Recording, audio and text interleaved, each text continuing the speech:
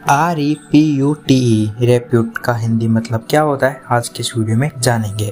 तो रेप्यूट का हिंदी मतलब होता है ख्याति, प्रतिष्ठा, कीर्ति या यश या मान। ख्याति, प्रतिष्ठा, कीर्ति, यश या मान।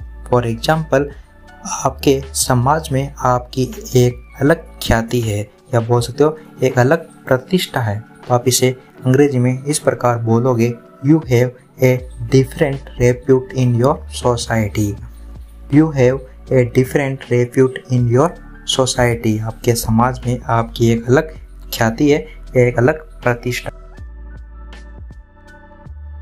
तो इस प्रकार की और भी वीडियोस को आगे भी देखने के लिए हमारे चैनल को सब्सक्राइब कर बेल आइकन को ज़रूर प्रेस कीजिएगा, जिससे हमारे आने वाले लेटेस्ट वीडियोस का नोटिफिकेशन आप तक पहुँच सके। Thank you